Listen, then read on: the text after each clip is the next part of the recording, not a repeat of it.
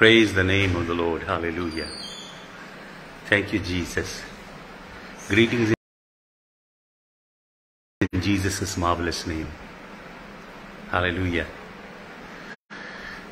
हम लोग आज सुबह मिस्ट्री बेबीलोन पे अध्ययन कर रहे थे मिस्ट्री बेबीलोन रहस्यमयी बाबुल की नगरी उसी शिक्षा को हम कंटिन्यू करेंगे Hallelujah. We will continue our teaching on the mystery Babylon. Hallelujah. तो मैं एक बार फिर से आपके लिए एक स्क्रिप्चर पढ़ता हूँ टर्न टू रेवलेशन प्रकाशित वाक्य, उसका सत्रह अध्याय, प्रकाशित वाक्य, सत्रह और उसका मैं आपके लिए पढ़ूँगा, अठारह वचन हालेलुया प्रकाशित वाक्य सत्रह का अठारह। सुनिए ध्यान से। And the woman which thou sawest is that great city which reigneth over the kings of the earth परमेश्वर क्या बता रहा है? यहुन्ना को। परमेश्वर अपने दास यहुन्ना को बता रहा है, उस औरत को जिसको तूने देखा है। तो ध्यान से देखिएगा मिस्ट्री बेबीलोन का स्वरूप यहुन्ना ने परमेश्वर के दास ने उस औरत को देखा और फिर परमेश्वर कहता, वो औरत जिसे तूने देखा है इज़ दैट ग्रेट सिटी वो वो महान शहर है प्रेजेंट टेंस में. वो महान शहर है, जो reigns over the kings of the earth जो पृथ्वी के राजाओं के ऊपर राज्य करता है. वो है मिस्ट्री बेबीलोन ये बाबुल से चला पंथ है, बाबुल से निकला रास्ता है, बेबीलोन। आपको मालूम, वो बाबुल का बुर्ज बना रहे थे, उनका अगुआ था निमरोद। निमरोद बाइबल में सबसे पहला अन जूइश नेम है, गैर यहूदी नाम है। Nimrod means rebellion Nimrod means rebellious बलवा करने वाला, जिसने परमेश्वर के विरुद्ध बलवा किया और पृथ्वी की सब कौमों को 70 डिफरेंट जेनेटिक पूल्स को परमेश्वर के विरुद्ध उकसाया। और वो बुर्ज बना रहे थे और उनकी दुनिया में परमेश्वर के लिए कोई जगह नहीं थी। वो कह रहे थे, आओ हम अपने लिए नाम करें, आओ हम अपने लिए एक शहर बनाएँ, जिसका गुम्मट आकाश से बातें करे। वो एक बड़ा गहरा हिब्रू वर्ड है। वो शैतानी आत्माओं, मैंने आपको बताया, इस समय शैतानी आत्माएँ कहाँ हैं? सेकंड हेवन से गिराया गया है शैतान। और इस समय he is the prince of the low he is the prince of the air the lord of the power of the air इफ्सियों की पत्री में लिखा है। वो फ़र्स्ट हेवन के अंदर जहाँ एटमोस्फियर है, वहाँ से रूल कर रहा है। तो ये लोग वहाँ से कनेक्ट होना चाहते थे। पहला बाबुल बेबलॉन बाबुल के दो मीनिंग हैं। अकेडियन वर्ड है, जिसका मतलब है गेट गेट ऑफ़ गॉड्स परमेश्वर की ओर जाने का गेट और दूसरा बाबुल का मतलब है confusion confusion Babylon means confusion तो ये शहर है और ये औरत है। इसके अलग अलग स्वरूप हैं। और परमेश्वर उसे दिखाता है, पृथ्वी के राजाओं के ऊपर इसने राज्य किया है। मैंने आपको आज बताया बेबलॉन की एम्पायर आई, बाबुल की। मीडो पर्शियन एम्पायर आई ग्रीक एम्पायर आई रोम की एम्पायर आई, और अभी जो पांचवी एम्पायर आने वाली है, वो मिक्स्ड एम्पायर है हाइब्रिड है। वो मिट्टी और लोहे की मिली हुई किंगडम है, जो अभी आने वाली है। हालेलुया मैं एक वचन पढ़ दूँ आपके लिए? प्रकाशित वाक्य 18 का 20 पढ़ता हूँ। सुने ध्यान से। Rejoice over her thou heaven and ye holy apostles and prophets for God hath avenged you on her प्रकाशित वाक्य 18 के 20 में एक बड़ी अद्भुत बात है। जब ये बाबुल की नगरी और यो ये औरत है, वेश्या है, इसका विनाश हुआ। इसका विनाश किन्होंने किया? वो दस सिंह, दस राजा जो हुए, उन दस राजाओं ने इसको मार डाला। इसका विनाश हो गया। जब इसका विनाश हुआ तो क्या लिखा है? रिजॉइस ओवर हर प्रभु के वचन में लिखा है, उसके ऊपर आनंद करो, हे स्वर्ग, तू आनंद मना। एंड ई होली अपोसल्स और पवित्र, प्रेरितो, आनंद मनाओ। जब इस औरत को मारा गया, बाबुल की नगरी को, इस सिस्टम को और इस औरत को, ये अलग अलग स्वरूप हैं इसके।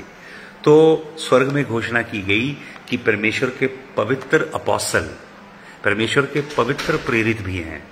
आज तो बहुत सारे फॉल्स अपोसल हैं। ठग अपोसल हैं। लेकिन परमेश्वर के पवित्र होली अपोसल्स भी हैं। पवित्र प्रेरित, एंड होली प्रॉफिट और पवित्र नबी भी हैं। क्या कहता है, तुम आनंद करो क्योंकि तुम्हारा बदला लिया गया है। किससे? बाबुल की नगरी से। बाबुल की नगरी ने परमेश्वर के प्रेरितों को मारा है। इस वेश्या ने परमेश्वर के दासों को मारा है। मैंने आपको बताया, सात पहाड़ों के ऊपर जो ये वेश्या बैठी है, ये है रोमन कैथोलिक चर्च। ये शहर है रोम, जो सात पहाड़ों के ऊपर बसा हुआ है। मैंने आपको फ़ोटो डाली है, तस्वीर, उसके अंदर सात अलग अलग पहाड़ है, जिनके ऊपर वेटिकन सिटी बैठा हुआ है। ये वो सात पहाड़ है। तो इस वेश्या ने परमेश्वर के प्रेरितों को और परमेश्वर के नबियों को मारा घात किया है। रोम ने मारा है पलूस को। रोम ने मारा है पत्रस को उल्टा सलीब चढ़ाया है। अंद्रियास को डायगनल सलीब पे चढ़ाया है रोम ने। और रोम ने भाले से मारा है प्रभु यीशु मसीह के भाई याकूब को जो प्रेरित है। और रोम के दुष्ट शासक नीरो ने लाखों मसीहों को ज़िंदा जलाया है। दो मसीहों को बाँध के उनके ऊपर टार डाल के, लुक की तरह ज्वलनशील पदार्थ डाल के दोनों को बाँध देता था और वो पार्क के अंदर बैठता था, जश्न करता था, औरतें नाचती थी, वो मदिरा पीता था। और वो पुरुषों के संग सहवास करता था। उसने अपनी पत्नी को मारा। क्यों? क्योंकि उसकी पत्नी जो थी, वो विश्वास करने लगी थी यीशु मसीह नीरो की पत्नी। इसलिए प्रेरित बलूस कहता है फिलिपियों की पत्री में कैसर के घर में जो कलीसिया है नीरो के घर में नी, कैसर नीरो तुष्ट राजा था मसीहों को मारता था जला देता था जब उनके बदन जलते थे उनकी रोशनी में जश्न मनाता था नीरो। मांस खाता था मदिरा पीता था औरतें नाचती थी और वो होमोसेक्सुअल था। उसके ही राज्य में, महल में बहुत से लोग यीशु मसीह के चरणों में आ गए थे। प्रेत पलूस उनको भी मज़बूत करने के लिए जा रहा था। जब वो रोम जाता है, उसको मालूम उसे घात कर दिया जाएगा, लेकिन सच्चे प्रेरित कलीसिया के लिए जीते हैं। परमेश्वर के लोगों को मज़बूत करें, परमेश्वर के लोगों की उन्नति करें, परमेश्वर के लोगों को मसीह के ज्ञान में, मसीह के इस वचन में आगे बढ़ाएँ, बुद्धि में, प्रकाश में, मसीह के डील डॉल तक आगे लेके जाएँ। परमेश्वर के प्रेरित, परमेश्वर के नबियों का ये काम होता है, लोगों को पाप की दलदल से निकाल के लाएँ। लोगों को पवित्र और धर्मी जीवन जीना सिखाएँ। लोगों को परमेश्वर के दास बनाएँ। ये काम होता है। उनका काम सिर्फ़ ये नहीं होता, बीजो बड्डो बीजो बड्डो। उनका काम होता है परमेश्वर के लोगों को मसीह की डील डॉल तक पहुंचाना। तो प्रेरित पलूस को मालूम था वो मारा जाएगा, लेकिन फिर भी वो जा रहा है।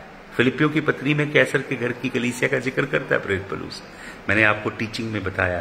तो परमेश्वर के प्रेरितों को इस नगरी ने, जो कि वेश्या है, औरत भी है, नगरी भी है, इसने मारा। जिन्होंने बहुत रिसर्च की है और उनका मानना है कि ये जो नगरी है बेबलॉन ये मक्का है। और जो दस किंगडम खड़ी होंगी टेन दस सिंह, वो मुस्लिम नेशंस हैं जो इसराइल के इर्द गिर्द हैं। काफ़ी कन्विंसिंग है उनकी आर्ग्यूमेंट लेकिन वो मक्का नहीं है। कुछ लोग कहते हैं शायद न्यूयॉर्क सिटी है, जहाँ पे पाप की भरमार है। कुछ लोगों का हाल मुझे इंटरनेट नहीं मिल रहा है। मैं अभी छत की ओर जा रहा हूँ। इंटरनेट की तलाश में। इस टीचिंग को पूरा करना चाहता हूँ। हाल thank you Jesus thank you Jesus तो सुनिए, बड़े ध्यान से। Hallelujah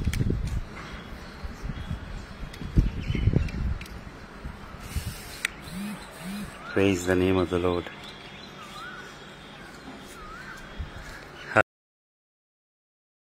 Hallelujah. Praise the name of the Lord.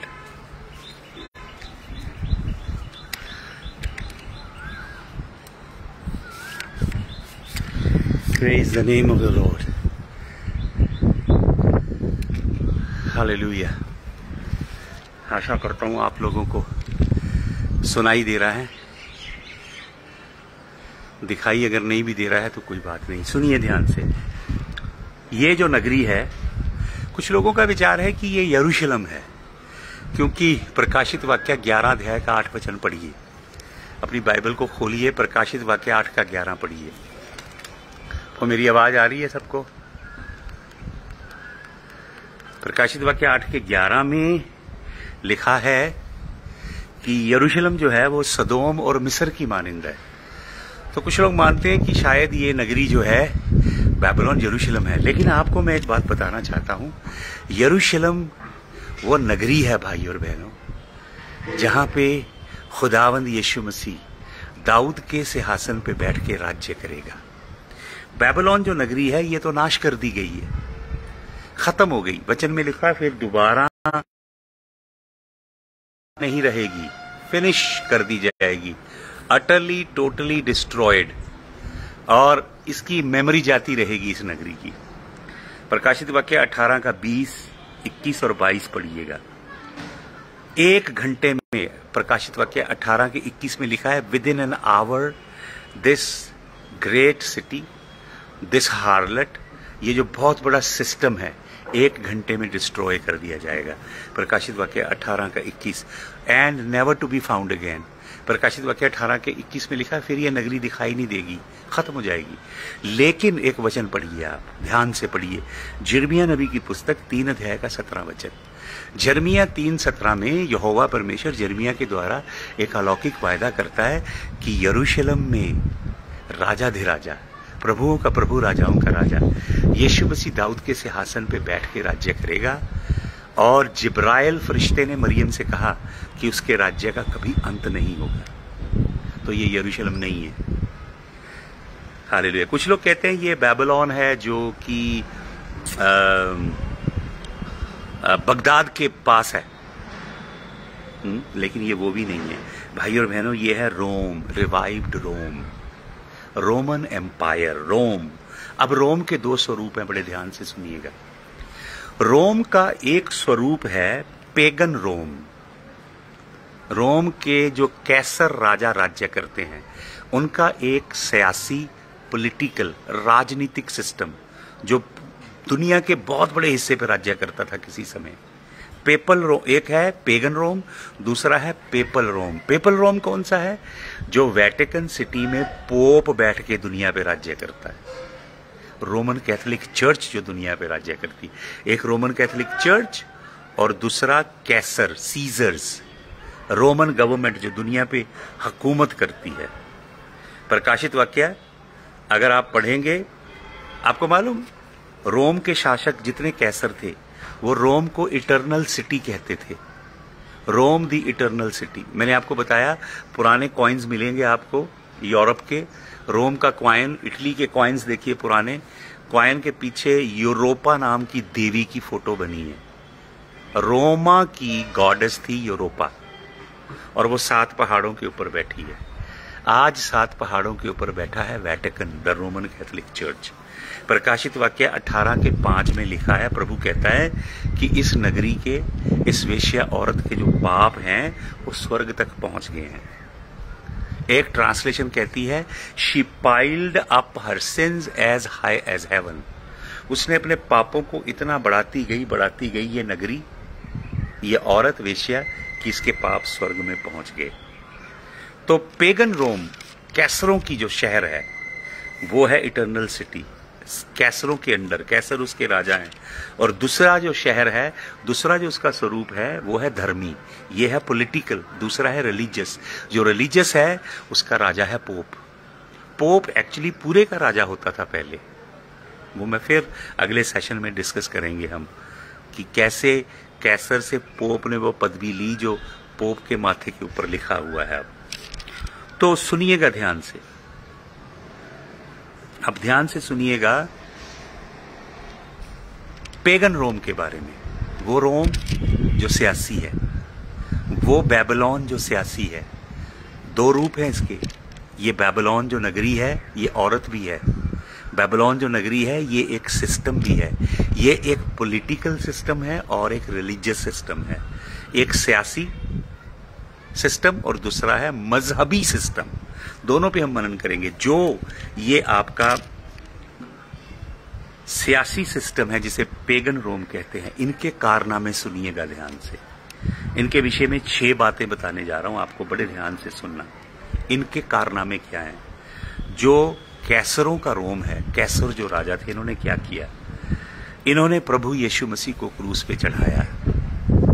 यीशु मसीह को क्रूस पे चढ़ाने वाले यही हैं, पेगन रोम।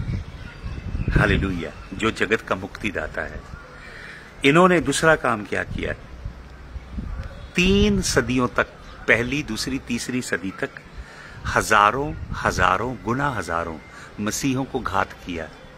नीरो ने मारा, जला के मार दिए, भूखे शेरों के आगे डाल दिए। चमड़े के अंदर सिल देते थे, बहुत बुरी तरह, और धूप में फेंक देते थे। आग की भट्टी में डाल देते थे, भूखे शेरों के आगे डाल देते थे। रोम ने 300 साल तक मसीहों को मारा है, शहीद किया है। कुछ रिसोर्सेस कहते हैं, दो लाख से तीन लाख के बीच क्रिश्चियंस को मारा 300 साल में।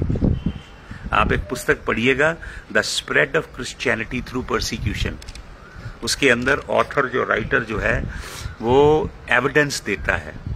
आर्कियोलॉजिकल एविडेंस देता है हिस्टोरिकल फैक्ट देता है कि दो से तीन लाख मसीहों को रोमन कैथोलिक चर्च ने 300 साल में मारा। तीसरा कारनामा सुनिए। इन्होंने 11 लाख यहूदियों को मारा है। 11 लाख। आप जोसिफस नाम के एक हिस्टोरियन की पुस्तक पढ़ें। जोसिफस ने 70 एडी में यह पुस्तक लिखी है, जिसमें वो बताता है कि 11 लाख यहूदियों को रोमन कैथोलिक चर्च ने मारा है। सॉरी, रोमन कैथोलिक चर्च ने पेगन रोम ने, कैसरों ने मारा है। जो इस औरत का सियासी रूप है। चौथी बात सुने। सत्तर एडी में, सन सत्तर में टाइटस फ्लेवियस नाम का एक राजा आया, जिसने यरूशलेम के ऊपर आक्रमण किया, घेरा डाला। यरूशलेम को घेरा, उसने यहूदियों को मारा, यरूशलेम को आग लगा दी और परमेश्वर के पवित्र मंदिर को भी आग लगा दी उसने। और 70 एडी से 132 एडी तक 132 एडी तक, लगभग बासठ साल तक वो इसराइल को अपने कब्जे में रख के उस पर राज्य करते रहे। लेकिन क्या हुआ? वो फिर 135 एडी में रोमा, ये जो पेगन रोम है कैसरों का रोम है। 135 एडी में फिर यरूशलेम का विनाश करते हैं दूसरी बार। इसके बीच में एक बहुत बड़ी घटना होती है आ, लेकिन ये कई हज़ार यहूदियों को मारते हैं 132 सन 132 से लेकर 135 तक। इसके बीच में क्या होता है बार कोकबा रेबेलियन। बार कोकबा कौन था? साइमन बार कोकबा एक बहुत बड़ा यहूदी था परमेश्वर का दास था। प्रभु का भक्त था। उसने दो से तीन लाख की सेना खड़ी की। योद्धे खड़े किए, यहूदी योद्धे। उससे रोम की गवर्नमेंट भी डरने लगी। मैं उसके विषय में पढ़ रहा था बार कोकबा के, कि वो घोड़े के ऊपर जाता था, इतना शूरवीर और सूरमा था। घोड़े पे जाता था, उसका हाथ बहुत बड़ा था, बड़ा शक्तिशाली था। घोड़े पे तेज़ी से जाता था, अपने हाथों से ऐसे घोड़े से एक पेड़ को पकड़ता था और पेड़ को जड़ से उखाड़ देता था। उसका हाथ इतना शक्तिशाली था उस व्यक्ति का, बार कोकबा का। उसने रोम की गवर्नमेंट के खिलाफ विद्रोह किया। जो आप देखते हैं ना, मनोरा, जो जूश मनोरा है, उसकी आप नौ ब्रांचेस भी देखते हैं, एक जूश मनोरा की कैंडल स्टिक की। हालाँकि वैसे सात होती है, लेकिन एक जूश कैंडल स्टिक की नौ नौ ब्रांचेस हैं। वो उसी समय की है, बार कोकबा के रिबेलियन की। जब परमेश्वर अद्भुत रीति से काम करता है इन व्यक्तियों के द्वारा। 132 टू 135 ये वॉर चलती है, बार कोकबा रिबेलियन। ये हैं कैसरों के कारनामे, जिन्होंने मसीहों को मारा, मसीहों को प्रताड़ित किया, परमेश्वर के कलाम को रोका। अब मैं आपको पेपल रोम, ये है कैसरों का रोम। आपको मेरी आवाज़ आ रही है? प्लीज़ मुझे बताइए, आपको आवाज़ आ रही है मेरी? यस लिख दीजिए। ओके थैंक यू सुनिए ध्यान से। अब दूसरे रोम दूसरे रोम का स्वरूप है बेबलॉन का स्वरूप है पेपल रोम जो पोप का रोम है। पोप से पापा वर्ड चला। पोप का मतलब होता है पापा मालूम है आपको? पोप का मतलब है पापा पापा डैडी जो कहते हैं ना, ये रोमन कैथोलिक प्रथा है। मालूम आपको पादरे स्पेनिश वर्ड है, पादरे, जहाँ से पादरी वर्ड निकला है। पादरे मीन्स पापा पापा, पादरे फादर पापा। इसलिए ज़मीन पे पापा, डैडी मत कहो किसी को, यीशु मसीह की आज्ञा है ये। यीशु मसीह से बड़ा नहीं है कोई अपोसल कोई पापा, डैडी। हालेलुया तो पेपल रोम ने क्या किया? पोप का रोम कितनी तशद्दद करता था? कितने जुलम करती थी रोमन कैथोलिक चर्च, कितना सताव परमेश्वर के सच्चे लोगों पर लेके आई।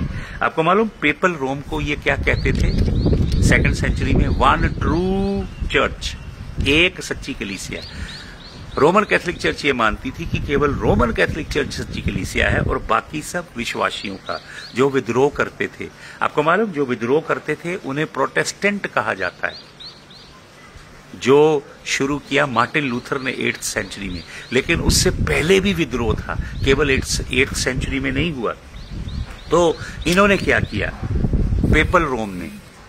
पोप के रोम ने कितने दुख दिए, कितने तसीहे दिए, कितनी तकलीफें दी, कितने मसीहों को शहीद किया, कितने यहूदियों के संग तशद किए, बुरा बर्ताव किया, मैं आपको बताने जा रहा हूँ। चार बातें ध्यान से सुनिए। इन्होंने क्या किया? They expelled all Jews from Spain Spain से 1492 को चौदह को इन्होंने स्पेन से सब जूश लोगों को निकाल दिया। सब यहूदियों को मार मार के काट काट के निकाला। भगाया यूरोप से। यहाँ से भाग जाओ। आपको मालूम? इसके बाद 14, 1497 पहले शुरू किया ये चौदह में, जब इन्होंने स्पेन से निकाल दिया।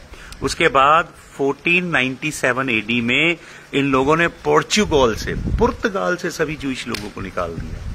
एक बहुत बड़ा कैंपेन चलाया रोमन कैथोलिक चर्च ने।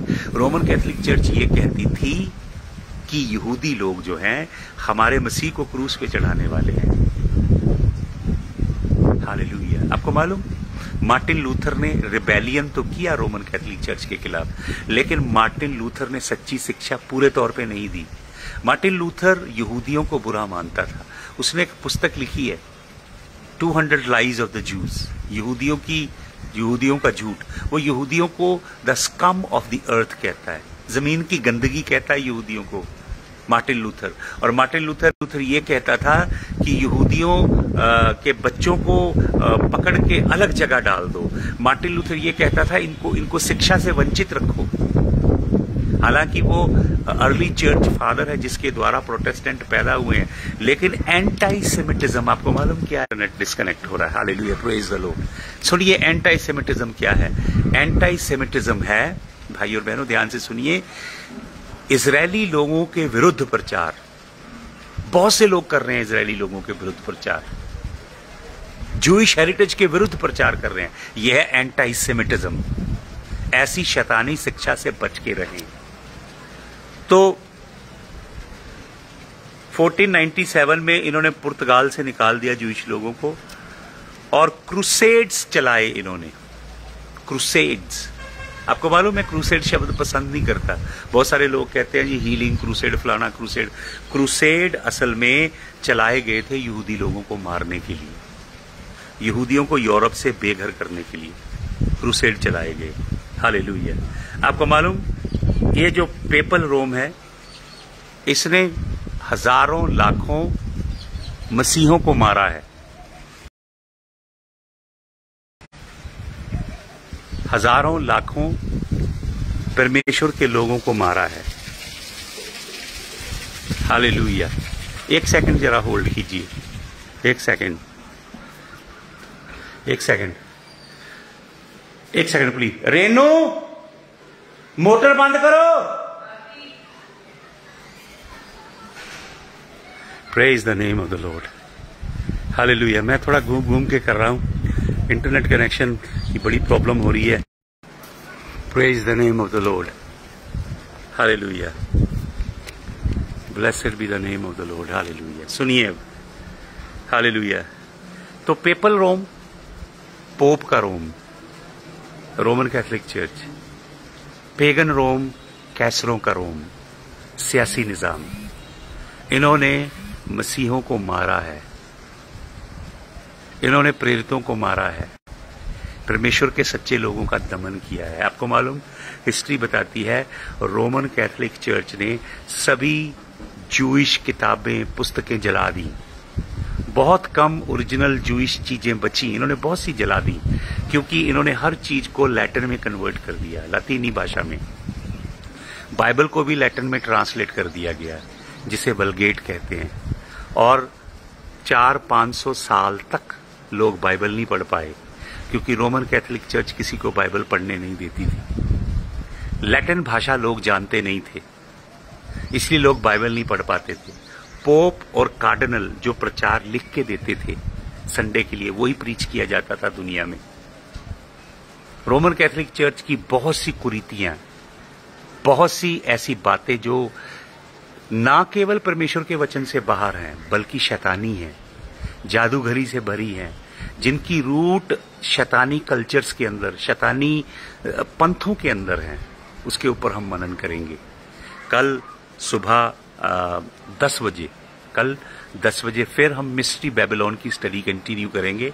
तो प्लीज़ कल सुबह दस बजे मेरे संग जुड़िए और एटलीस्ट एक दो और लोगों को बताइए, ताकि ये सच्ची खरी परमेश्वर के कलाम की शिक्षा, सच्ची और खरी शिक्षा पूरे विश्व में और अभी कई कंट्रीज़ में जा रही है ये शिक्षा।